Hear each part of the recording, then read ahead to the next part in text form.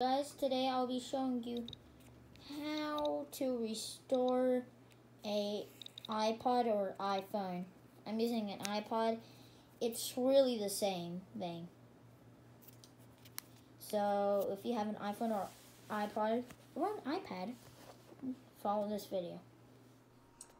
So first off, you'll have to connect your cable into the iPhone, iPad, or iPod. After that, click on this this thing where it shows where your device is at. Go to restore iPod. Are you sure you want to restore iPod Joshua's iPod to its factory settings? All of your media and other data would be erased. So if you don't want your data to be erased and stuff, I'd rather you not do this. So let's click restore.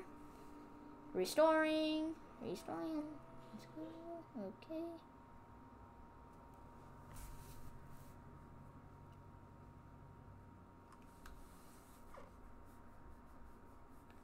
There we go. Well, then you see that so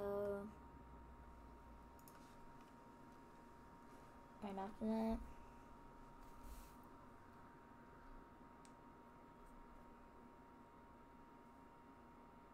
there we go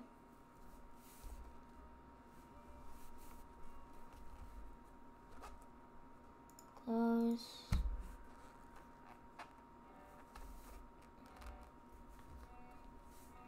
Welcome to your new iPod. Continue.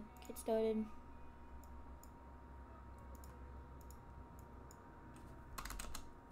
Okay, here we go. Here. Alright. So, we can now disconnect this. First off, we have to safely inject, eject it. Well, let's eject it. Here we go. So, yeah. So that's it for the video. I hope this helped you a lot. And that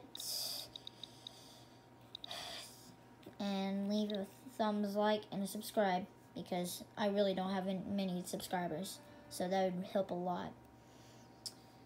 See you guys.